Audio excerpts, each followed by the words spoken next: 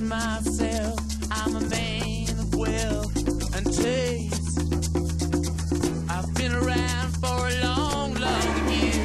So many men, so.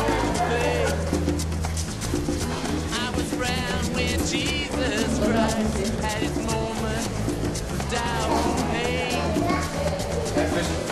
Damn sure the fire.